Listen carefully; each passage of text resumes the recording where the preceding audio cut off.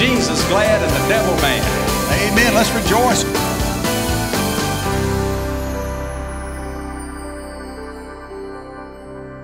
Turn in your Bibles, if you would, to Hebrews chapter 1 and our live stream audience as well. Uh, the Word of God is the only thing, that and the Holy Spirit, that's going to get us past this crisis. I said it's the only thing that's going to get us past this crisis. If you think that the social distancing and uh, the masks and, and, and all of that behind closed doors and all of the all of the directives that we've been given and we're, we're obeying them out of respect but not out of faith in them I mean, you know, we, I don't go to the grocery store and lick the handlebar of the cart, okay? I don't go out of my way. I know Jesus protects me, but I don't go lay in the middle of the freeway and dare an 18 wheeler to run over me. I, you know, I use common sense. You know, a lot of this could be common sense. And we've been taken out of common sense by government decree. I, I object to that. I said I object to that. And I believe the Bible, we got to get back to the Bible. The biggest problem is that, you know, I, I contend that our, our nation has drifted away from the Bible, drifted away from truth. The Bible is the truth. And so let's look at Hebrews chapter 1. Well, that's not a resurrection scripture. Well, you know, it doesn't say resurrection in the verses, but I'm, it, it implies that Jesus rose from the dead. We know that. Don't we know that? Is there, is there a body in the tomb? There's no body in the tomb. Amen. The tomb is empty. Hebrews chapter 1, verse 1 God, who at various times and in divers manners spake in time past unto the fathers by the prophets, hath in these last days spoken unto us by his Son, whom he hath appointed heir of all things by whom also he made the worlds. He made you and I. He knows everything about us. Who, talking about Jesus, being the brightness of his glory, the brightness of his Father's glory. That's Jesus. You want to know what, know what God looks like? Look at Jesus. You want to know what God does, what his will is? Look at Jesus. Look at the Word of God. God and his Word are one. And Jesus is the Word. So, who being the brightness of God's glory and the express image of God's person, and upholding all things by the word of his power, when he had by himself purged our sins. Just think about it. Purge means pruned. I mean, he cut off every sin of humanity. Nobody's going to hell because of the sin they committed. There's only one reason they go, and that's because they fail to receive the free gift of righteousness, the free gift of salvation through accepting Jesus Christ as their Lord and personal Savior. That's the only reason people go to hell. Hell was not created for man, it was created for the devil and demon powers. It breaks God's heart for people to choose. You have to choose to go there. Because every man, woman, and child on the face of the earth will ultimately choose. And today could be your day to choose. Will you, will you receive Him by faith? When by Himself He purged our sins, cut them off, and He sat down on the right hand of the majesty on high, being made so much better than the angels, as He hath by inheritance obtained a more excellent name than they. Chapter 2, verse 14. For as much then as the children are partakers of flesh and blood. Everybody say, That's me. That's me. See, we, we, we're the children of God if we're by faith in Christ and we're, we're flesh and blood. Uh, then he also himself took part of the same. In other words, he became flesh and blood. Jesus became flesh and blood when he was born of the Virgin. And, uh, and he, that he through death that through death he might destroy him that hath the power of death, that is, the devil, and deliver them who through fear of death were all their lifetime subject to bondage. Boy, that kind of looks like right now, doesn't it? Lots and lots of people are bound by fear and panic. And what is, what is the fear? Is the fear of corona? No, really behind all of it's the fear of death. The fear of death is behind every sort of phobia. I mean, there's a whole uh, there, there's a whole section of psychology and psychiatry that's dedicated to helping people with all kind of phobias. Let me tell you something: the greatest help you can get is have the devil canceled in your life and believe God's word. I mean, really, all this ritual that we're going through, all this social distancing, and all this don't touch your hands, and don't touch your face, and don't do this, and don't do all of that is almost like germophobia. I'm not saying we shouldn't do it at times, but don't trust in it. I said, don't trust. That's not what makes you safe. You know, get out the blood app. Have you got app, apps on your phone? We have apps on our phone, all kind of apps. You know, you plug into the app, you know, and and check it, and it helps you do things. Well, take out the blood app. You know, the blood of Jesus. Glory to God. It's delivered us. Amen.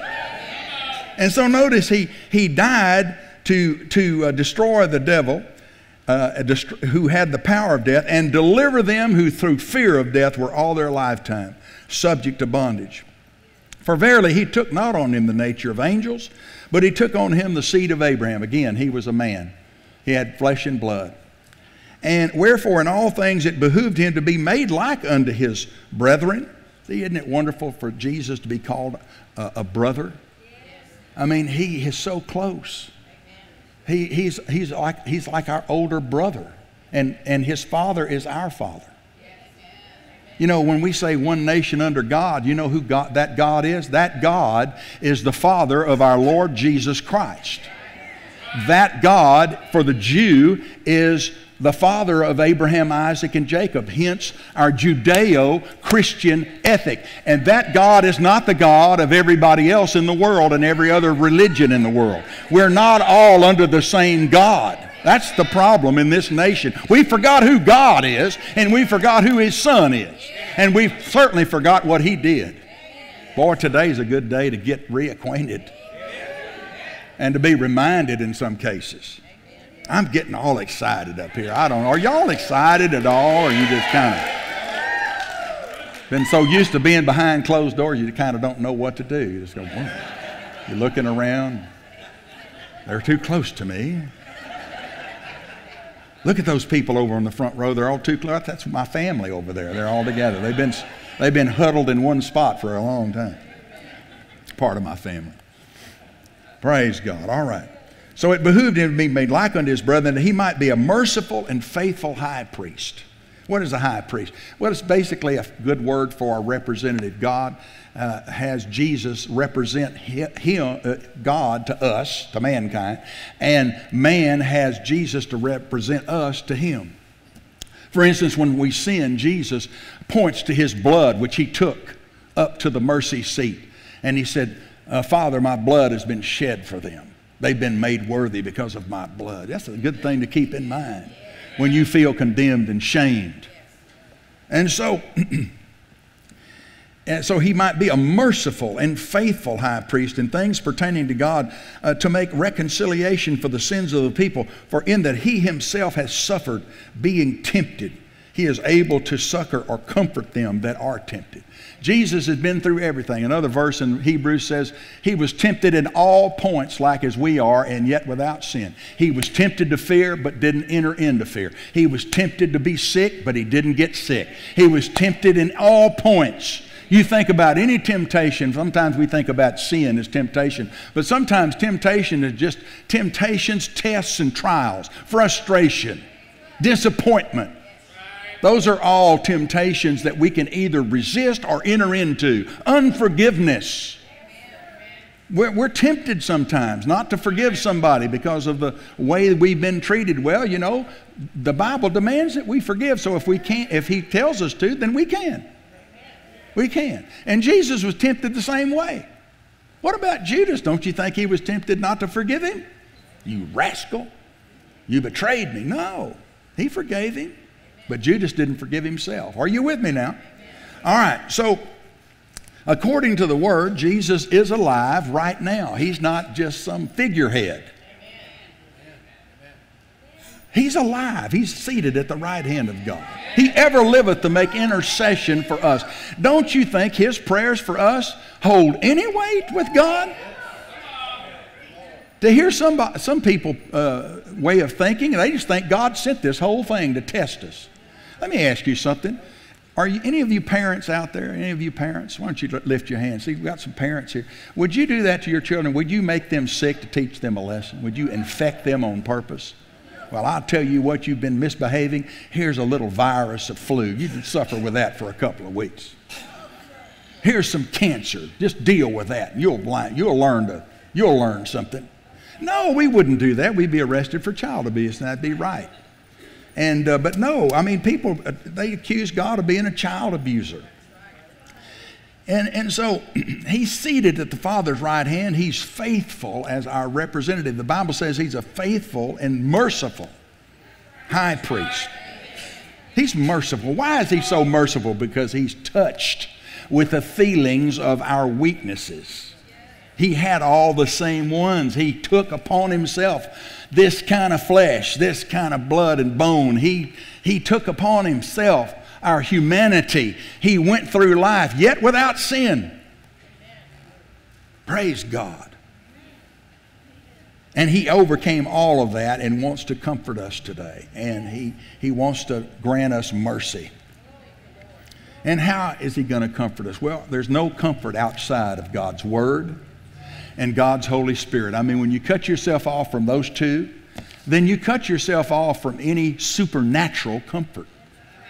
And what we need is supernatural in this, in this entire country. We are relying on all kinds of medicine and medical. I'm not saying throw it out, I'm saying there's another dimension that's been missing on live stream. It can't get out on live stream. There's not a corresponding corporate anointing or presence of God on live stream. We, we don't have worship, we're not getting together. You know, uh, the Bible says, neglect, neglect not the assembling of yourselves together, as puzzle pieces, one version says. But so much the more as you see the day approaching. In other words, what day do we see approach? Jesus is coming. I don't have a date for him, but he's coming. He's coming soon. I don't have a date. I'm not here to say a date. I'm saying he's nearer than he was. And so when we see that date and the reality that Jesus is coming, then the reality of the resurrection, that's what I'm talking about today. The reality. Everybody say the reality of the resurrection. As a nation and as the church, the way I see it, we've been talking about the reality of this virus, the reality of how it's transmitted. And the reality, reality, and most of it is theory. Most of it is just somebody's opinion. They really don't have any proof much of anything. In fact, there's no proof that what we're doing is going to help. Oh, yes, but, but, oh, yes, but the numbers are not as bad. Well, I, I want you to know all of what we're doing, all of this work, uh, this uh, social distancing and, and, and staying in our houses and not touching our hands and our, washing our hands 150 times a day and not touching our face and all of those things. I mean, some of that's common sense, some of it's overkill. And it, it, that was factored into the models already. And so they still said, oh, 240,000 Americans are going to die. No, there's no way it's going to be that way. I said this two weeks ago. I pointed in the microphone on live stream. I didn't prophesy it, I declared it. I said it won't be 240,000. It won't be 100,000. It won't be 50,000. It won't even be 25,000. It'll be less than the flu. It's just the flu. It's another version of flu. They didn't call it the Wuhan flu because then we wouldn't have taken it as seriously as we've taken it, we wouldn't have given up our rights like we have. Folks, we've given up our rights. You know, governments, I, I like the last statement on our website, uh, a statement on the COVID, but it says on our website, and I believe this, you know, governments can be corrupted, and freedom not uh, practiced is freedom stolen. We have to practice our freedoms. We have to, we have to allow ourselves to embrace our freedom. Oh, well, that was a good reason. Well, what was it a good reason? I don't know that it was. There wasn't any debate about it. There wasn't any alternative medical opinions expressed. We've got at least one doctor that doesn't agree with it. He went to medical school, practiced for umpteen years. And we have many others. We have one that made a statement in our, in our suit that doesn't agree. So, you know what I'm saying? Pastor, you're, you're talking about politics. I'm talking about the truth now. The truth, only the truth that you know and apply in your life can make you free. Not, not just some concept of truth, but what we, what we believe enough to practice. Are you with me now? Jesus is the answer. And it takes the Word and His Holy Spirit to do it. Now in Hebrews 2.14 it says here, it says that he took part of our own flesh and blood, that through death he might destroy him that had the power of death, uh, even the devil. Well, we know destroy there does not mean that, that the devil ceased to exist. He, he still exists. Demon powers exist. There's angels, there's demons. There's God, there's a devil. A lot of Christians don't even want to talk about the devil. They act like the devil's died. Well, no, he's still alive. He's doing things. That's what he's doing right now. But Jesus, well, if Jesus destroyed him, then he's, well, yeah, he destroyed him, but it's up to you to believe that and apply it and act like that. So the word destroy there, it, let me give it to you. Uh, you know, it, it, he, he, he did that to destroy the devil and deliver those who all their lifetime were subject to the fear of death. They were in bondage. Sounds like the world today. And, uh, and that he might, see the word might, the might there is on our side, not his. He did something, and it's up to us to believe it. Why do we believe it? Because we can see it? No. Faith doesn't believe what it can see because you don't need faith to believe what you see. Faith believes the unseen is a fact. So, in spite of this, whatever it is, you can call it a pandemic. I don't even, you know, it's worldwide. It's taken a lot of lives. In fact, the entire death rate are all over the world It's not 240,000, much less America. So their numbers of their estimates are completely wrong. And they're trying to say, well, that's, that's just how models are. Well, if that's how models are, let's not go by models. Let's go by facts. Let's go by facts. Can we go by facts? What's wrong with facts?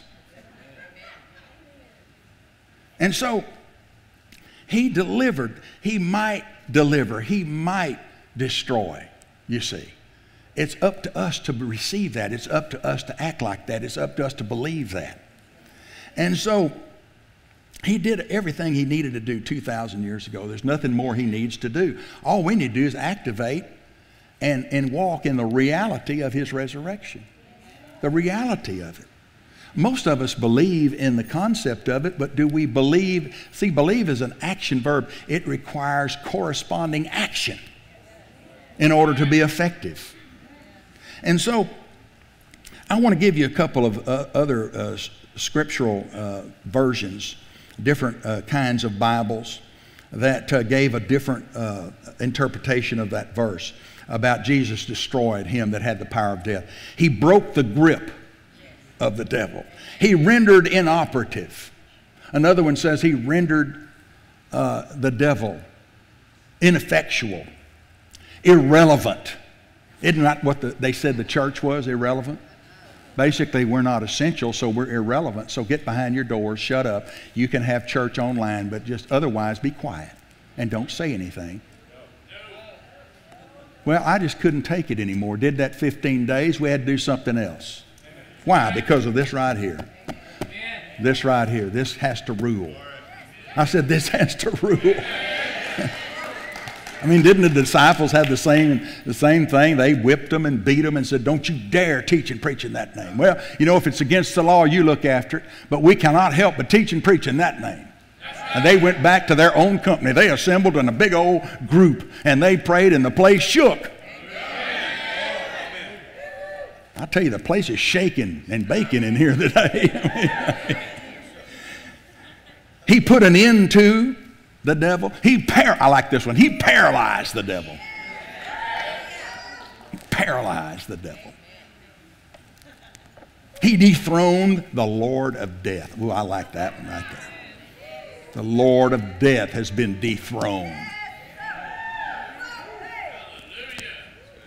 So the resurrection is proof that we've got a right to be free from the bondage of fear and death. But we have to, we have to enforce, we have to believe. Our part is to believe. He did it already. Well, I can't see it. I don't, listen, Pastor, I know all that stuff's in the Bible. But I tell you, I I'm not in the habit of believing what I can't see. I don't believe it unless I can see it. That's all there is to it. That's just how I roll. I believe it when I see it. Well, have you ever seen your brains? All right, so when Jesus rose from the dead, he found his disciples had self quarantined.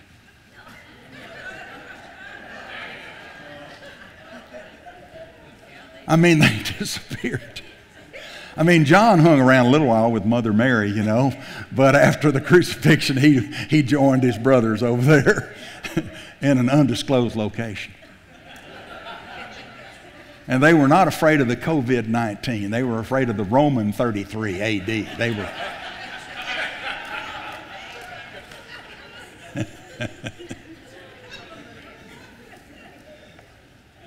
they had a, a, difficult time believing that Jesus rose from the dead. They thought it was all over.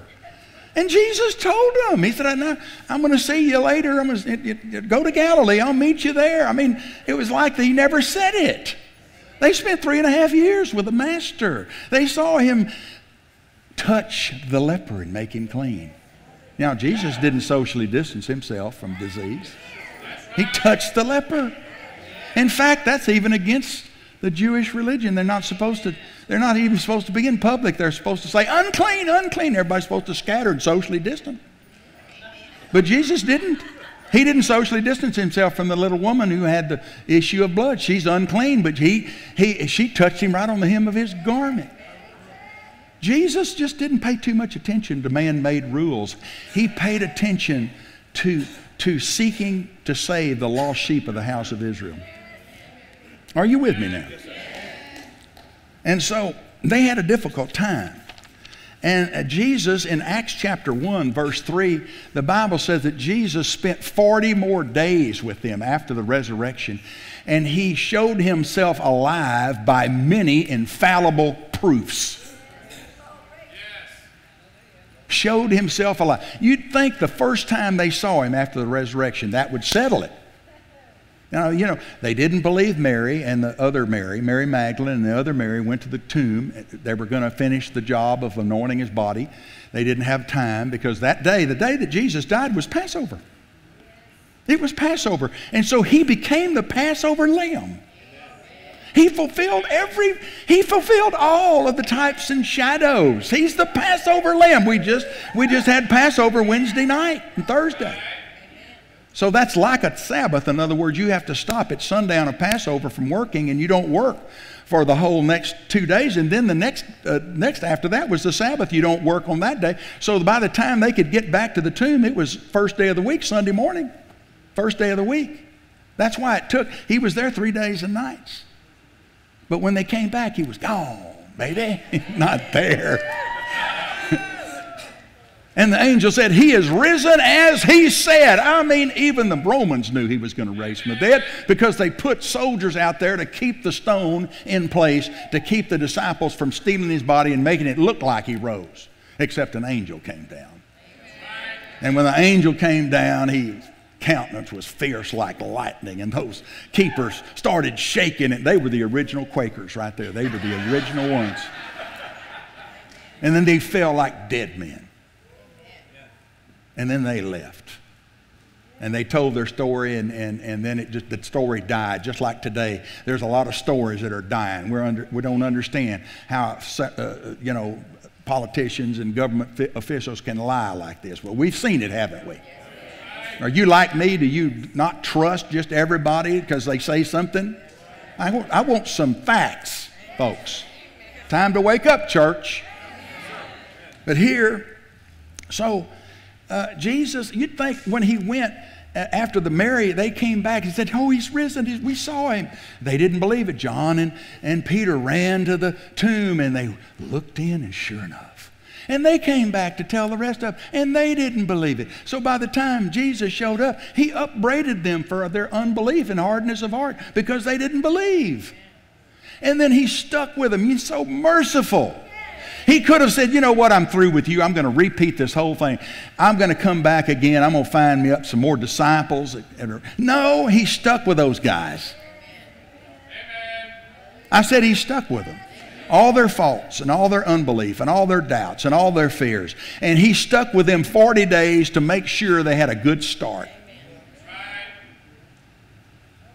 And he declared to them the things concerning and taught them more perfectly the things concerning the kingdom of God. They didn't understand what we're preaching here today. They didn't have the Bible. They didn't have the New Testament yet. God gave them a little space. He gave them a little, you know, a, a little room to, to, to learn. We don't always know everything when we first start out. Thank God I've never quit going, being a student. In John chapter 20, verses 30 and 31, it says here that many signs, John said, many signs did he in the presence of the disciples. Many other signs that are not written here that he did. Why would he do those in the presence of the disciples? To, to prove himself alive. Now, let me ask you something. If those disciples in, 2,000 years ago needed that much proof of his resurrection, can we see why then people nowadays doubt? Can, because listen, we don't see Jesus. We don't see the empty tomb. We don't see anything. But what we do have is we have the Bible. And we ha- and I'm telling you, a lot of I went into this Bible. A lot of people died to get us this Bible. And we have His Holy Spirit. And so, really and truly, we have no reason to doubt. We have the witness, we have the testimony. It's time to believe it and act on it. Are you with me now so far? Everybody say the reality of the resurrection. See, that's the word. The word gives us the reality. Three, three quick realities that, that, that you probably already know, but we need to remind ourselves today.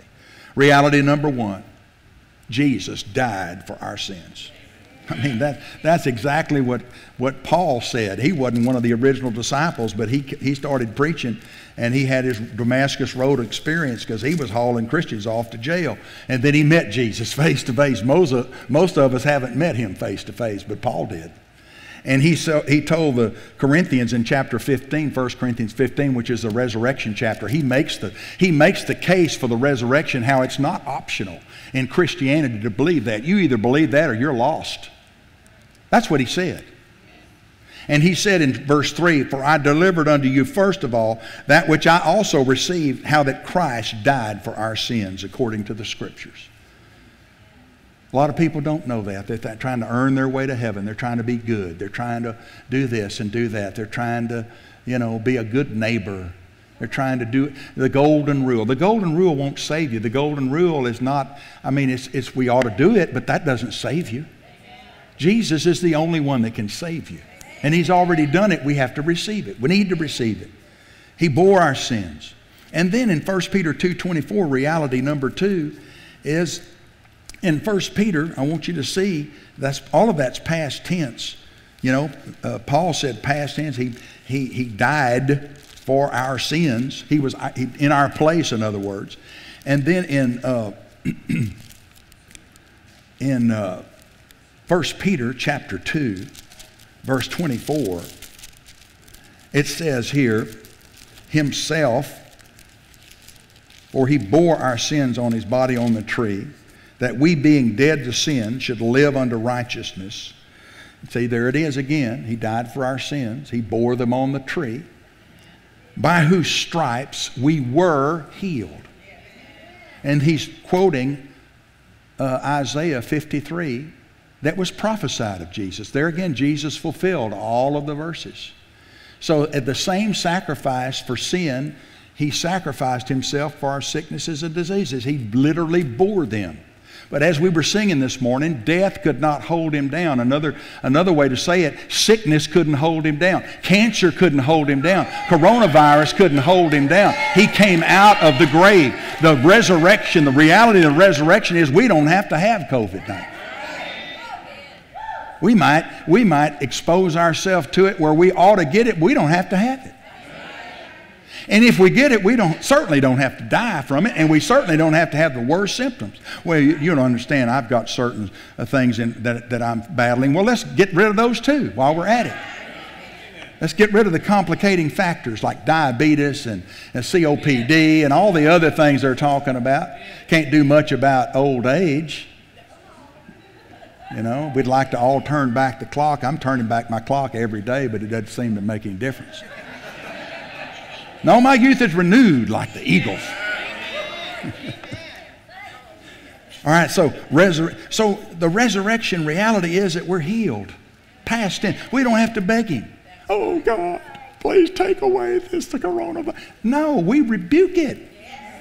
We have authority over it. If we don't do something, it won't get done. Jesus already did it all. You want Him to come back down here? He's, he, he's saying, Do I have to come back down there? Did your mom ever tell you that? Have I, have I got to get, come to that back seat and straighten y'all out back there in the back seat? I know none of you have kids that fight in the back seat. All right, so. All right, Re- reality number three 2 Corinthians 8 9. We all know the grace of our Lord Jesus Christ, that though he was rich, yet for our sakes he became poor, that we, through his poverty, might be rich. Might. What's the might? The might is we have to believe it and appropriate it. Might. We have a part to play in it. Well, I'm rich. I, my family's not rich. I don't, I'm not in the. No, rich just doesn't mean a millionaire. It means having an abundant supply. It doesn't mean barely get along boulevard at the corner of Lack Lane. It doesn't mean starving. We've got people in the society right now that are asking for help that have never before had to ask for help. It's a shameful for them. They feel shamed. They feel condemned that they're having to do this. You know, this is the answer. The reality of the resurrection is Jesus wants to supply your need. He can, I tell you, he knows where the, the coin is in the fish's mouth. One time he owed taxes. They were demanding taxes. He told Peter, Go fishing and get the coin out of the first fish's mouth and give it to him for your taxes and mine. he still knows where the gold is. He knows where the silver is. He knows where the opportunities are. Praise God. Come on, let's lift our hands right now. The reality of the resurrection.